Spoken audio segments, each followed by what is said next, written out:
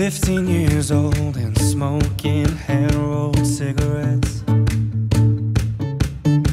Running from the law through the backfields and getting drunk with my friends.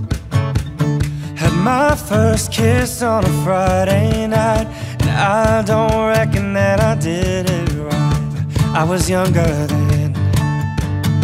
Take me back to when weekend jobs where we got paid. We'd buy cheap spirits and drink them straight.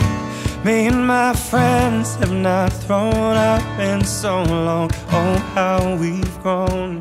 But I can't wait to go home. And I'm on my way, driving.